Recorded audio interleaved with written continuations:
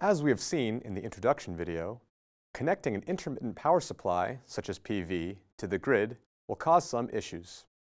The issues can be divided into voltage issues, power issues, and frequency issues. In this video, I will discuss how adding PV to a grid can affect the voltage.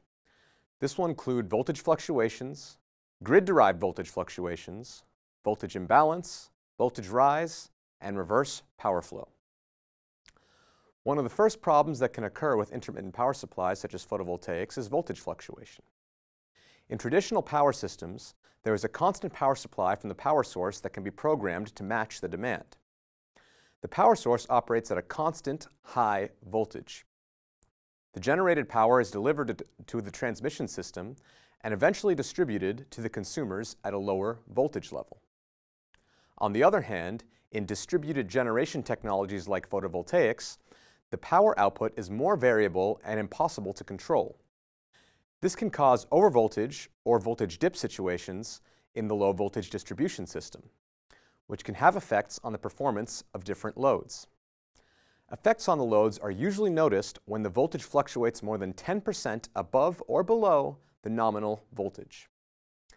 In grid-connected systems, voltage fluctuations may occur also outside of the PV system, depending on the stability of the grid. In this case, we want to preserve our PV system from damage by means of some safety mechanisms. A PV system connected to an inverter is providing power to the low-level distribution grid. No problems occur when the voltage of the grid is constant and at a nominal value. However, some fluctuations may also occur at the distribution level, causing an overvoltage at the inverter. In these situations, inverters normally feature a disconnecting system that is set to avoid the grid-derived voltage fluctuations that may be transmitted to the PV system. If the voltage of the grid is higher or lower than a preset threshold, the disconnector will shut off the PV system from the grid. This means that the PV power generated during this period of grid's instability will be wasted. One way to broaden voltage dip tolerances is to incorporate low voltage ride-through, or LVRT, techniques into the inverter design. This term refers to the capability of electric generators to stay connected in short periods of, ele of lower electric network voltage or voltage dip. When the voltage of the distribution system goes down, the inverter is programmed to keep injecting current into the system. This way, the PV is able to remain connected to the grid for short period voltage dips or brownouts. Without LVRT, a small grid fluctuation would then cause the PV to shut off. This in turn would cause a greater voltage dip, which would result in a cascading failure. Such a failure may result in a major blackout, so LVRT protection is essential to keeping grids healthy. Voltage imbalance may be a problem for the system stability. To visualize a three-phase voltage system, we need a time domain and a voltage domain, in which sinusoidal voltage can be drawn. A single-phase system is composed of one sinusoid, and in the three-phase system, we have also a second and a third signal with a phase difference of 120 degrees between each phase. Problems will occur if the phase difference changes to a value other than 120 degrees. Also, when the amplitude of the voltage is not the same for all the phases, imbalances can occur. So, if a single-phase generation gets distributed in the three-phase system, this can lead to an imbalance that will have a negative impact on small distributed generators, such as temperature rise of the rotors, noise, and vibration. Generally, the difference between the highest and the lowest voltage should not exceed 4% of the lowest voltage. Single-phase PV systems installed disproportionately on one of the three phases may cause severely unbalanced networks. Damages to control systems and damages to transformers can also occur. This is the reason why at high PV penetrations, the cumulative size of all systems connected to each phase should be as equal as possible.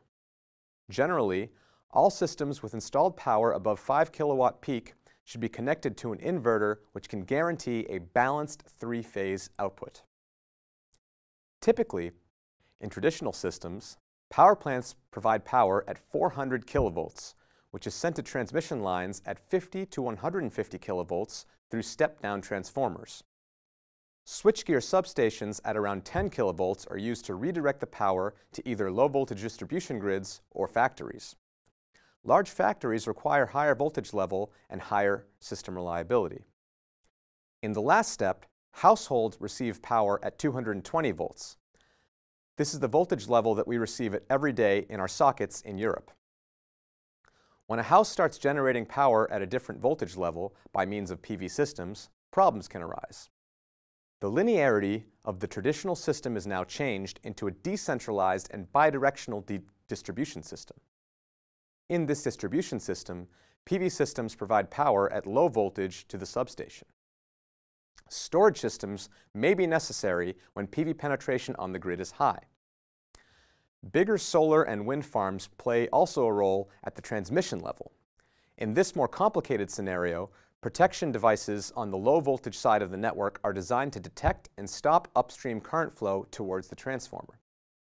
If distributed generation systems result in a reverse power flow through the regulator, tap changing control systems in the transformer which regulate the turn ratio and therefore the voltage inputs and outputs may become unstable.